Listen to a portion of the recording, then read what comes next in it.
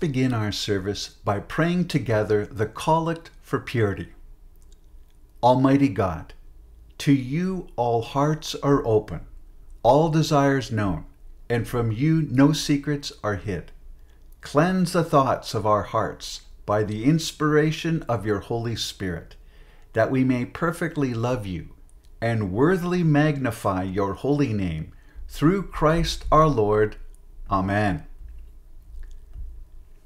And let's say together the summary of the law. Jesus said, You shall love the Lord your God with all your heart, and with all your soul, and with all your mind.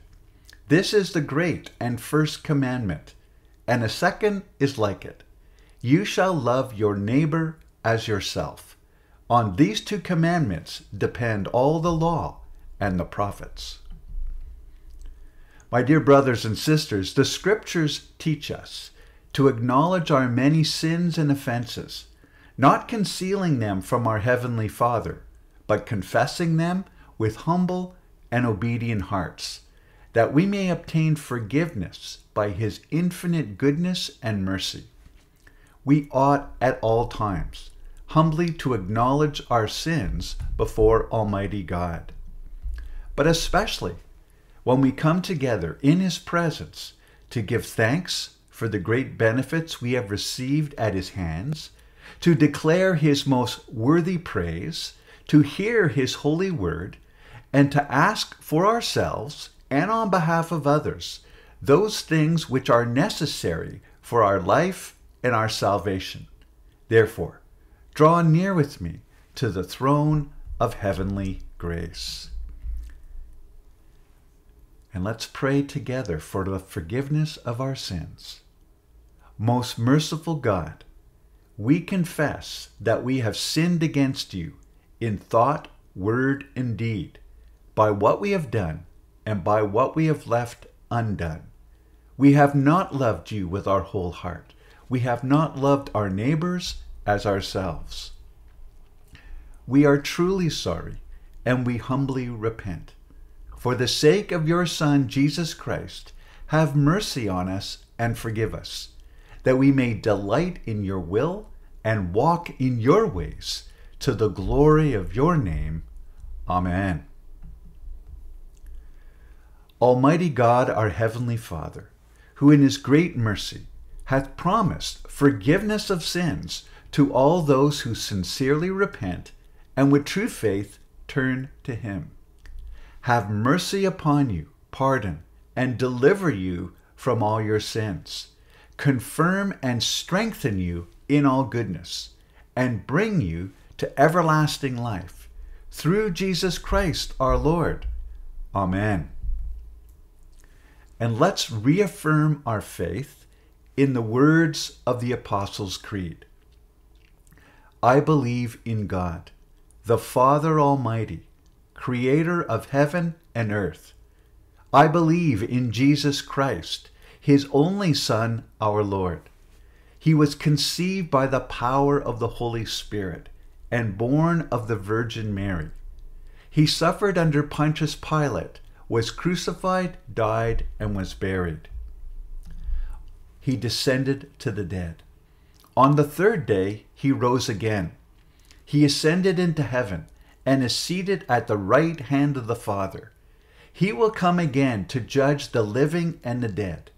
I believe in the Holy Spirit, the Holy Catholic Church, the communion of saints, the forgiveness of sins, the resurrection of the body, and the life everlasting.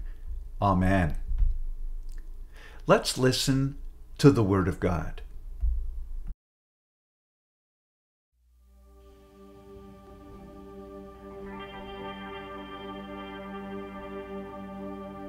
You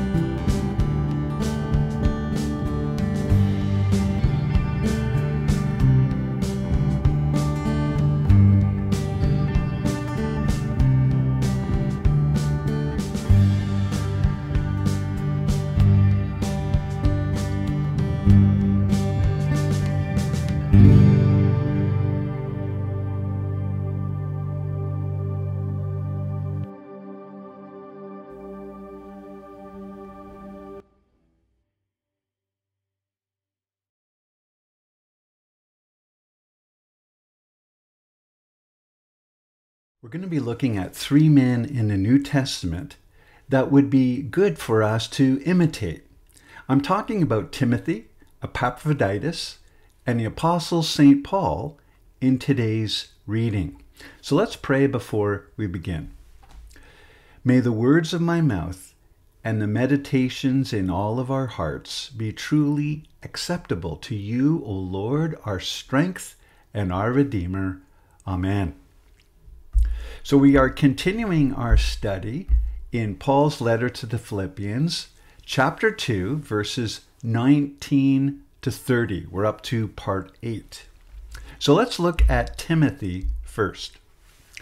I hope in the Lord to send Timothy to you soon, so that I too may be cheered by news of you, for I have no one like him, who will be generally concerned for your welfare. For they all seek their own interests, not those of Jesus Christ. But you know Timothy's proven worth, how as a son with a father he has served with me in the gospel. Well, so far, not much to go on. So we're going to have to fill in the blanks a bit. Timothy is mentioned 25 times in the New Testament. And as you know, two of the Apostle Paul's letter are addressed to him personally. He was the son of a mixed marriage.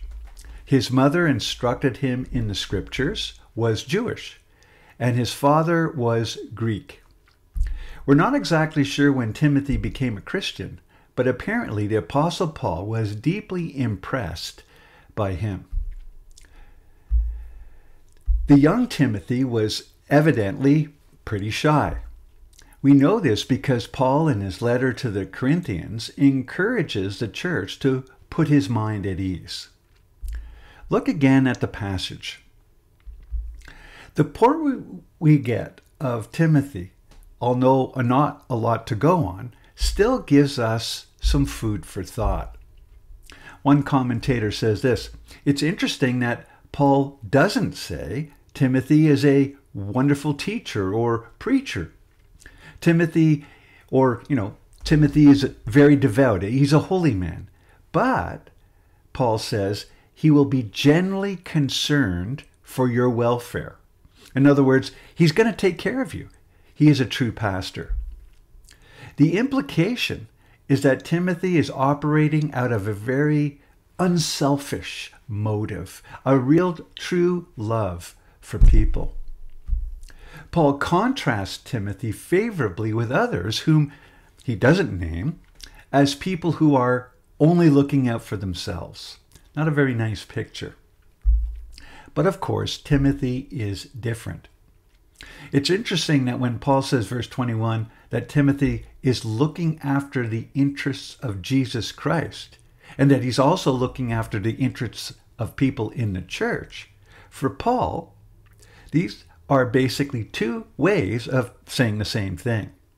He looks after the interests of Jesus, he looks after the interests of people.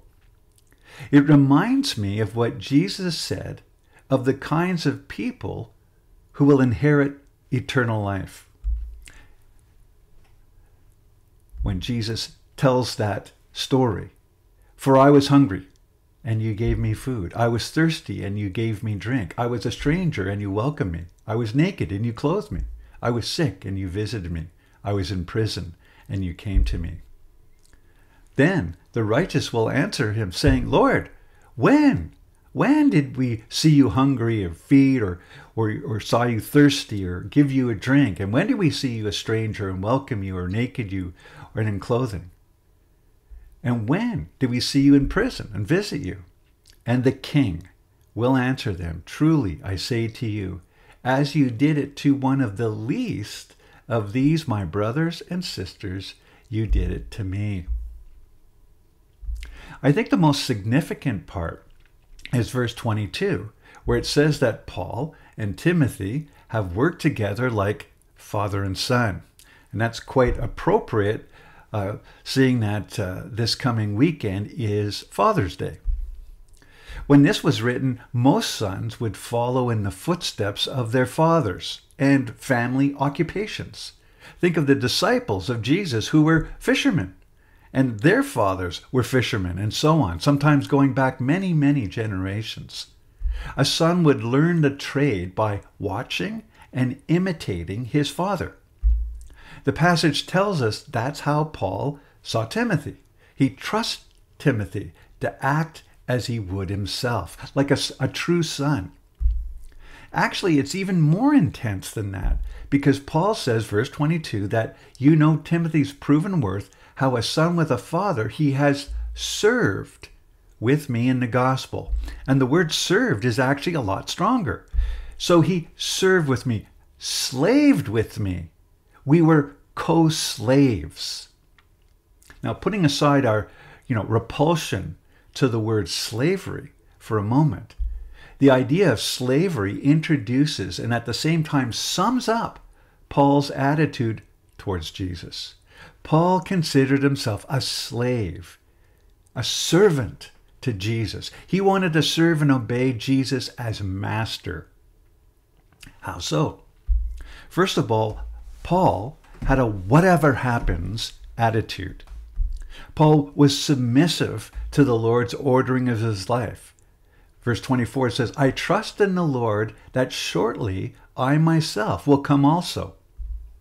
In a very understated way, Paul is basically saying whether he lives as a prisoner or as a free man, or whether Paul lives or dies, he is trusting in the Lord. Now, again, remember, Paul's writing this from prison. I suppose he could have said something like, Well, I'm trusting in the justice system of Rome, uh, Roman law, and I'm going to be released because I, I didn't do anything wrong. Or he could have said, Don't you know who I am? I'm a Roman citizen. They can't keep me. But he doesn't say that. Paul puts his life in God's hands. He held on to the belief that he served a sovereign God. God rules all things freedom, prison, discomfort, sickness, health. Paul had a whatever happens attitude. He knew, he knew he was in the Lord's hands. Secondly, it meant that Paul and Timothy both committed themselves to very active service. Verse 24, he had served me in the gospel. It could be read as he slaved with me in the gospel. Just as we discover earlier in chapter 2 that Jesus himself took the form of a slave. As difficult as it is for us to get our heads around this incredible, challenging attitude, all of us are called to the very same thing. Remember earlier in the chapter, have this mind, the mind of Jesus, the mind of a servant, the mind of someone who went to the cross because he loved us so much. Have this mind among yourselves, which is yours in Christ Jesus. And thirdly, how else did Paul consider himself a slave to Jesus? It worked itself out in his self giving attitude towards, of course, his brothers and sisters in the church. Paul saw his friends in Philippi as worthy of the best he could give them. And he sent Timothy, who was very, very dear to him, who, in his words, there's no one like him. So we get a glimpse into Paul's character and Timothy. Timothy is a very interesting guy. And the sense here is that Timothy actually worried. He worried about these people, his brothers and sisters in the church. It consumed his mind. St. Paul, St. Paul did exactly the same thing. Timothy learned well from his spiritual father. And of course, the whole point is that in essence, we can learn. We can learn from their example as well. We can imitate them. Paul and Timothy putting the Lord first by seeking the spiritual good of other people through a sacrificial gospel ministry. To say the least, the Apostle Paul is proud, quote, of his son, Timothy, because he is a servant of the Lord. So, what can we learn from the passage so far? Well, what we can learn from Timothy, who in the Bible is described as very affectionate, but sometimes very fearful, needing encouragement at times, but not ashamed of the gospel. Very, very simple, folks. God works through imperfect people. A friend of mine had to go through a psychological test when applying for a new job. And after the test, he said, Well, if an uptight, anxious, not having much confidence in himself individual is what you're looking for, I'm your man. Sometimes sounds a bit like uh, Timothy, whose weaknesses are as apparent as his virtues. God loves to work through weak people. The whole Bible is filled with those kind of folks. And that is very much an encouragement to me, and I hope to you as well. Let's look at Epaphroditus. Now, we even have less to work with. Epaphroditus is only mentioned twice in the Bible, here and then later on in Philippians chapter 4. He was a Christian from Philippi. His name actually means charming. We also know that Epaphroditus brought a gift from the church to Paul all the way to Rome when he was in prison. So we get a glimpse into the character of this fine man. At the same time, just as the passage describing Timothy, we get a glimpse of Paul too. Now we're looking at the passage that describes Epaphroditus. So let's look at both Paul and Epaphroditus. First of all, Epaphroditus.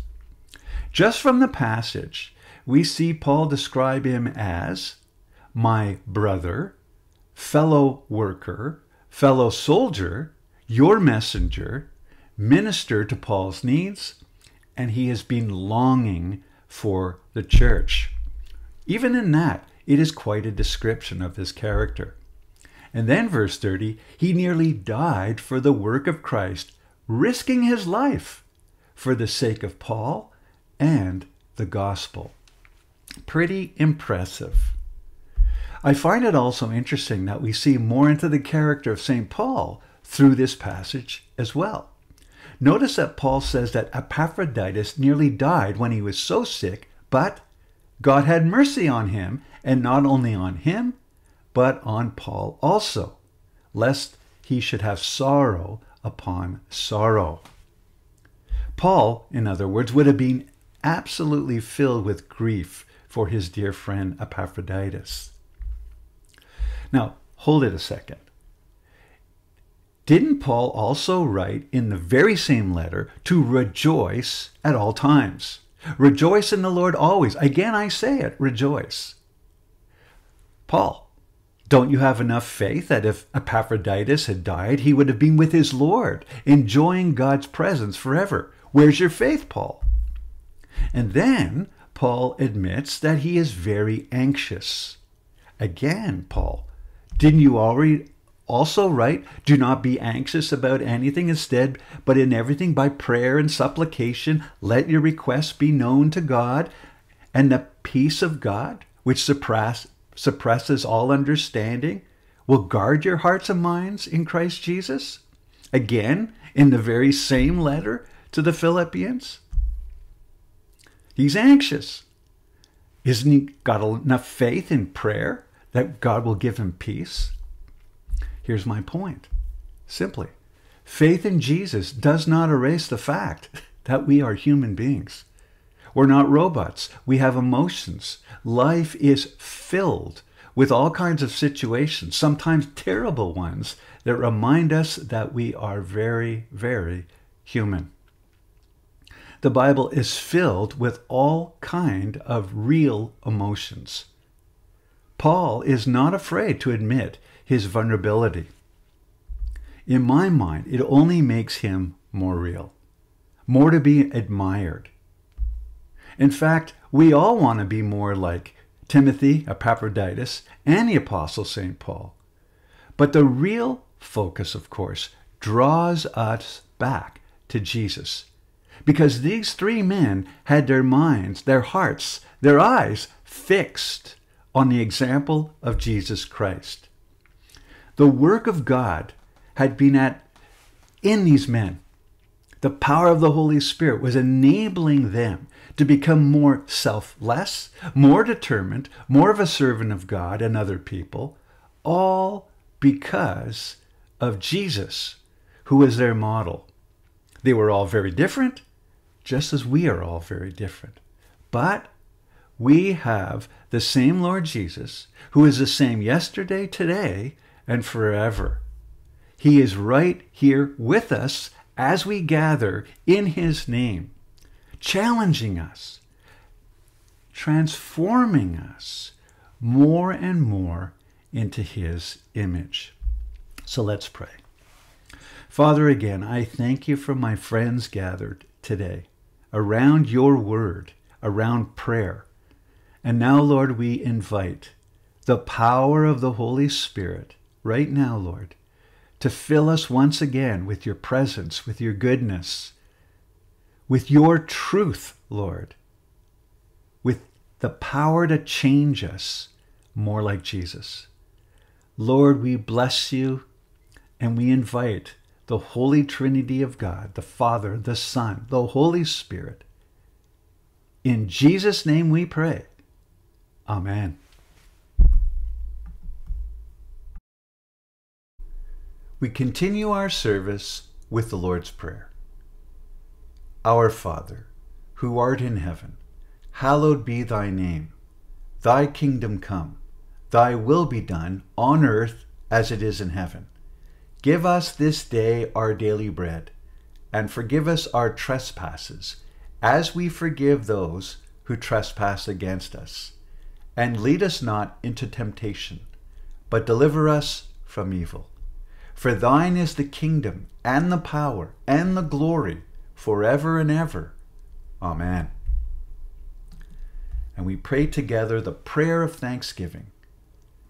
Almighty God, Father of all mercies, we, your unworthy servants, give you humble thanks for all your goodness and loving kindness to us and to all whom you have made.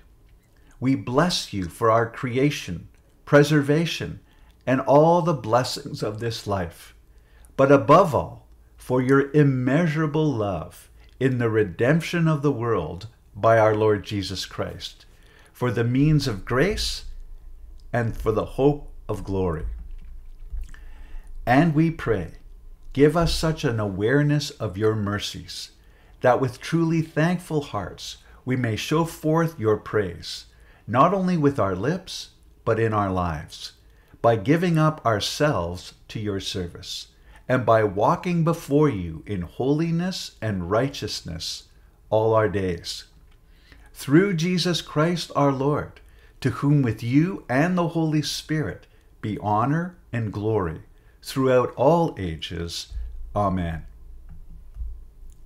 The peace of God, which passes all understanding, keep your hearts and minds in the knowledge and love of God and of His Son, Jesus Christ, our Lord. And the blessing of God Almighty, the Father, the Son, and the Holy Spirit be among you and remain with you always. Amen. Well, God bless you and have a wonderful week. Thanks for joining us.